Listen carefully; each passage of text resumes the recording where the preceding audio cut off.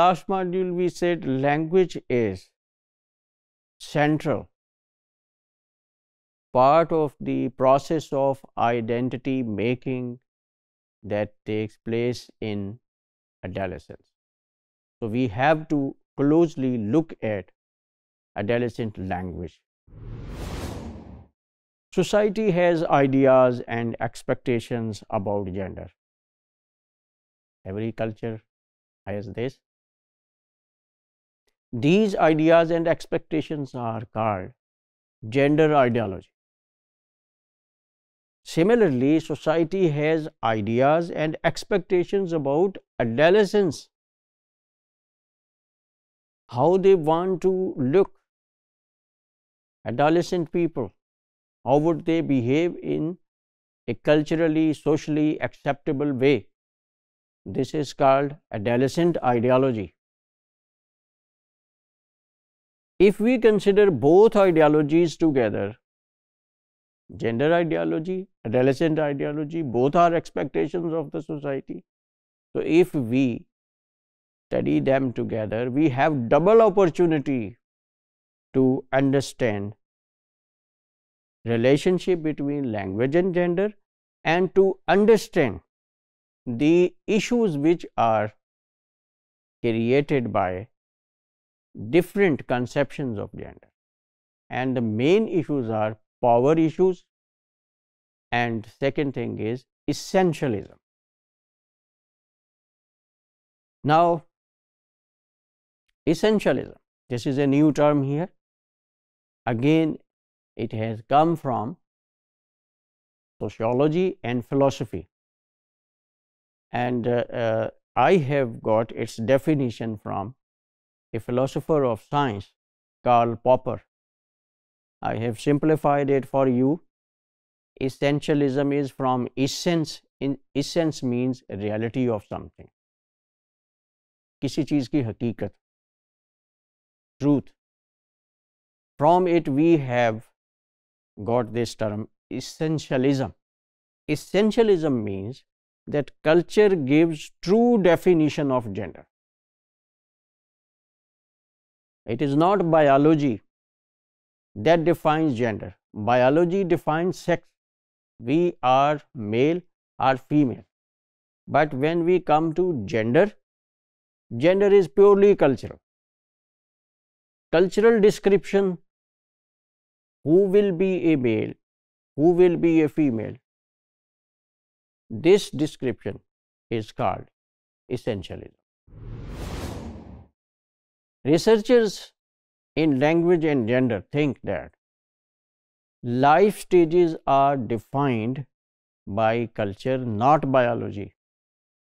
As we differentiate between gender and sex, similarly, here they draw a line between a physical life stage and a cultural life stage. They say childhood, adolescence, adulthood, they are physical stages. Okay, and up to this point, biology helps us. But beyond that, they are cultural, cultural uh, features. They are cultural constructs so, here biology does not help. But how we behave, what are cultural expectations about adolescence so that we may understand what are cultural definitions of adolescence and these life stages.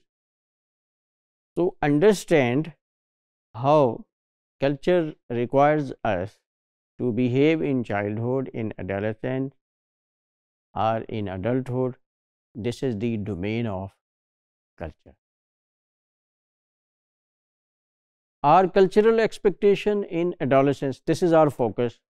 Now we leave for the moment childhood and adulthood, we focus on adolescence. Our cultural expectation in adolescence is that we are prepared to join some work or profession. This is one cultural aspect expectation. Sorry. Adolescents must contribute to economy of the country. Because they are future workforce of the nation. So, one expectation of the culture is that they should be useful for the economic well-being of their nation or country. They should prepare themselves for that. This is one expectation, and this expectation come from society, from culture. It doesn't come from biology. That's why we have separated biological expectations of these stages and cultural expectations. So, one cultural expectation is preparedness for professional life during adolescence. For this economic and adult life expectation uh, preparation, we can't leave adolescents like natural plants.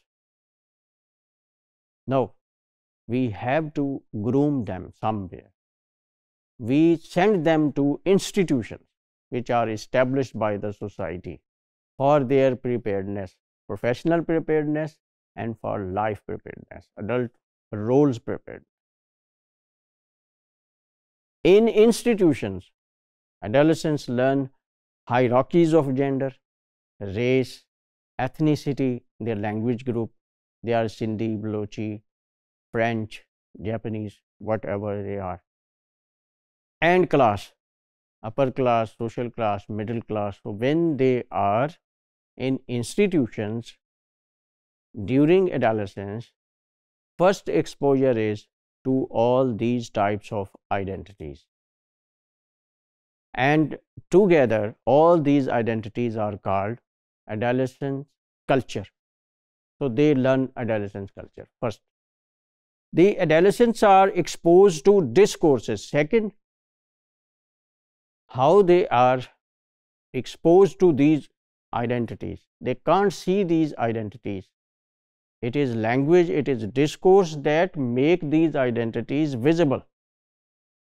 So, they are exposed to discourses. This is plural. This is not singular. And it means when we use it in plural, it means conventional ways of talking and thinking.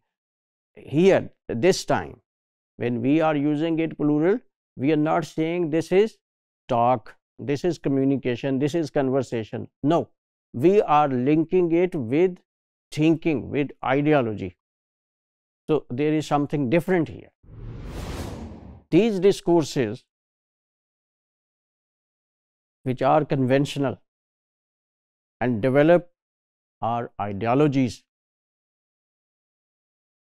ideas which we take as truth. We call them ideology. These ideas may be about gender, these ideas may be about race, these ideas may be about profession, anything.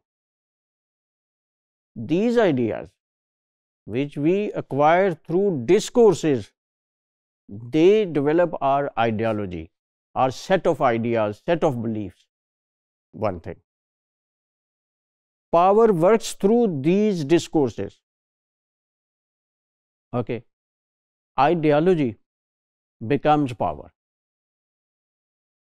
So, discourses, they develop ideologies. Ideologies, they develop power. Who said this? Foucault. Michael Foucault, French philosopher. For example, such kind of ideologies are developed and if you look closely at these statements, you would find the underlying ideology and the underlying concept of power. Males are powerful and males are important. They play important roles in life the white are superior to the black, the black are inferior. Difference, hierarchy, higher and lower, powerful and powerless. Elite class adults are refined and rational, working class are not refined, rough and tough, and they are irrational, they can't think logically. Adolescents and women are irrational, but and emotional and changeable and trivial, unimportant. These are the conceptions. but adults they are stable, they are mature, they are rational. So, behind these statements, you see they are discourses. These discourses, when are accepted unquestionably, they become our ideologies. And these ideologies, in fact, what they promote? They are promoting difference, and where there is difference, there is power. These are the views of Foucault. He is here. He says that power is not possessed, power is exercised. And how we exercise it? We exercise it when we communicate through discourses.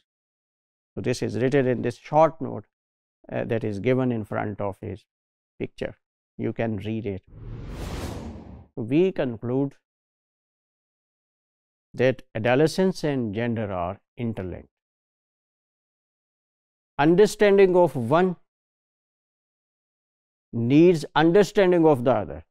If we want to understand adolescence, we need to understand gender and vice versa. Adolescence is not just a physical stage of life, it is a cultural stage of life. It is the stage where we construct our identity.